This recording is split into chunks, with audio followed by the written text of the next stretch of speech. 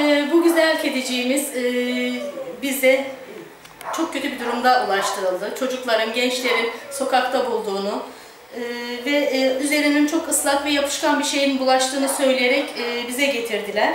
Sonradan öğrendiğimize göre e, bu bir kişinin e, kendi köpekleri için hazırladığı e, tavuklu yiyeceği kaynatırken sokak arasında kapısının önünde belki hani büyük bir tenekenin içinde tavuk parçalarını kaynattığı kazan diyeceğim artık. Onun içine tabii ki çok aç, zavallı, iki aylık kadar kazanın içine düşerek üstü sıcak yağla kaplandı.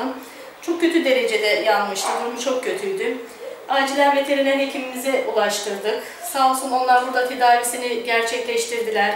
Ee, yaklaşık iki ay, iki buçuk ay kadar sürdü bu e, tedavi süreci.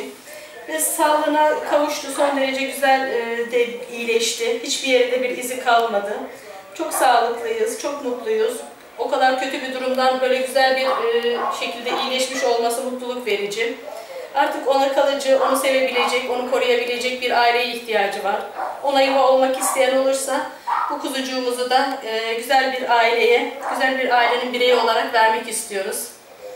Veteriner hekimimizin asistanı e, Seher Hanım e, tedavi sürecini anlatabilir bize. Ee, iki aylıkken geldi kedimiz bize. Kızgın yağ düşmüş bir şekildeydi. Zorlu bir tedavi süreci geçirdi. Yaklaşık iki buçuk ay değil mi? Burada bir Evet. tedavi gördü. Şu an gayet sağlıklı. Zorlu süreçlerden geçti ama şu an gayet iyi ve sağlıklı bir durumda. Her şey yolunda. Evet. Artık tek ihtiyacı sıcacık bir yuvamız olsun. Evet. Buna yuva almak isteyenler lütfen bize ulaşsın. Çok sevecen, iyi huylu bir çocuk.